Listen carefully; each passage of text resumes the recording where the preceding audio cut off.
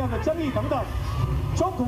纸风车剧团来到中和表演，演出的台湾幻想曲融合美术、戏剧、音乐等元素，吸引千人到场，抓住大小朋友的目光。同时在关系的过程中，让大家对艺术形式有更进一步的认识，不仅让家乡的小朋友了解自己生活的地方，也更增添熟悉的认同感。那这个艺术工程列车的话，再度开到我们中和区了。哦，那这已经是第二次了。那主要原因是因为第一个，我们这一次举办的这一个基金会。他董事长是我们综合的人。那第二个部分的话，还是我们企业界啊，我们综合在业企业界呢，他赞助这些金额金额，所以呢，让我们紫风车呢到我们的综合景运动工程啊办理第二场的这个紫风车的艺术工程表演活动。最主要是让我们艺术文化向下扎根呐，那让小朋友知道，呃，我们每一次的表演剧码当中哈，都有特代表不同意义，尤其是乡土文化部分。那这个我相信我们所有小朋友一定受益良多。纸风车剧团就像是台湾的游唱诗人，